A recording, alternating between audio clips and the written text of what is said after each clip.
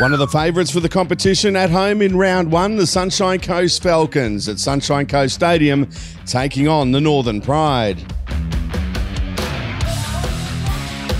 And what a start for the Falcons. Nat McGavin crossing in the third minutes. Yeah, good, mate, good. Mate, nah. Yeah. Yeah, ball's down. Then the Pride scored in the ninth minute through Wiremu Greig. Four. It was a tight first half, the third try coming in the 27th minute, and it was through Jaden Corrigan. Four minutes later, and Ben Hampton scored as he's staking a claim for an NRL return with the Cowboys. At the break, the Pride in front, 18 points to six.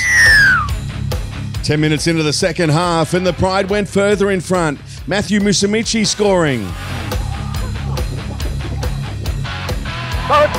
I feel it's right. Yes, I grounding. The Falcons gave themselves a chance with 19 minutes left. Patriciolo crossing over for this four pointer.